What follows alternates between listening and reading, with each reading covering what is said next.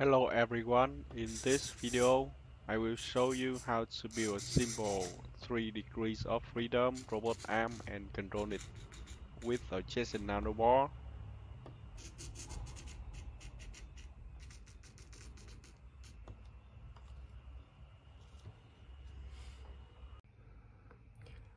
Firstly, I will explain about the mechanical parts. As you can see that the mechanical parts contain three RC servos. In this application, I use MG996R motors for the choice and about the links of the arm. Uh, we designed ourselves and printed by a 3D printer.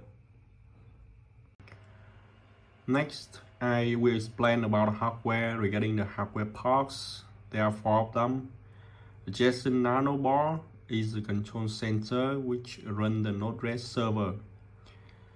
The PCA 9685 modules is a 16 channels PWM module which is used to control RC servos.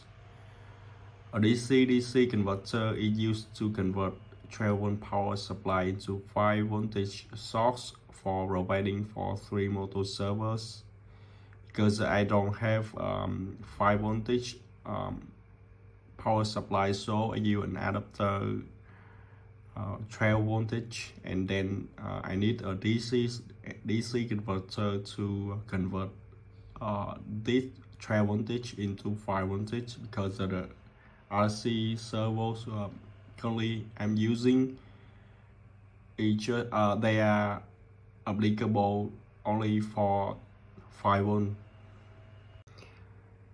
then I will explain something about source code uh, firstly we need to set up the environment of a Jetson nanoboard um, firstly you need to install the uh, OS for Jetson nanoboard you can download the JetPack from NVIDIA page. And um, the JetPack I use in this application is JetPack 4.4.1 after installing the JetPack you can follow the readme file in my github repository to install all required dependencies for your Jetson Nano as you can see in the readme file you can uh, set up the environment yourself or simply pull my docker image into Jetson nano os so actually you need to install uh, docker also in the uh, Jetson nano os because I use another PC to remote control the Jetson nano board so I need to uh, SSH into the board first.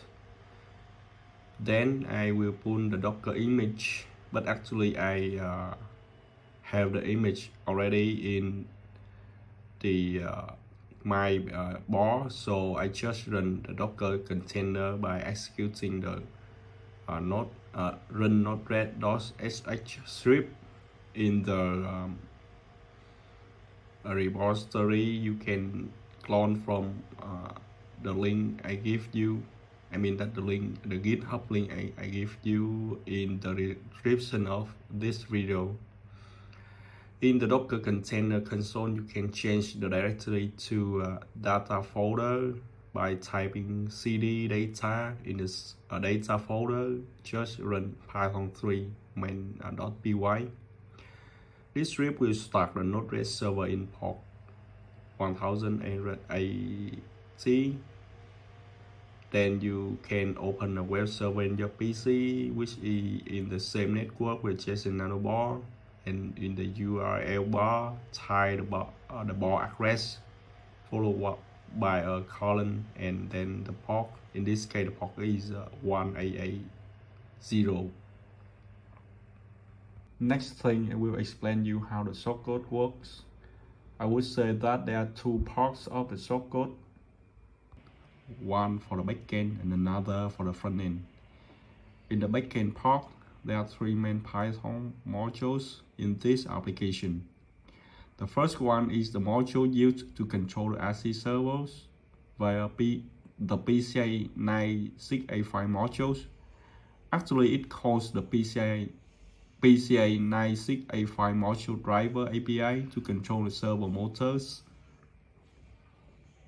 As in the servo control.py module, there is a simple class named servo control which has two methods, rotate and rotate on.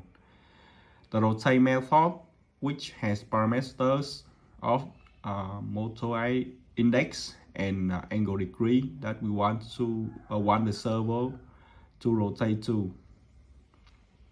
In the rotate on method, we have one parameter of the angle degree, which we want all the servo to rotate to. The second module is my server.py. This class is responsible for WebSocket connection and call the servo control driver API. The last module is the main.py module, which is used to instantiate server control object and WebSocket server, also stack the Node-RED server. In the front end part, firstly you can copy the save flow from my on my GitHub repository then import it to Node-RED flow page.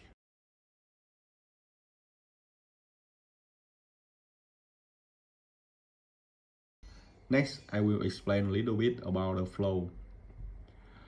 This switch shall enable the motor control and right after the switch is changed from off to on. All the motors shall be reset to the in initial position. As can be seen in the reset motor node, the topic motor shall be sent with payload value 45 and on the motor values uh, shall be sent via WebSocket to the Python WebSocket server in the backend. The backend then shall control the servo motor via PCA 9685 driver then deploy and see how it works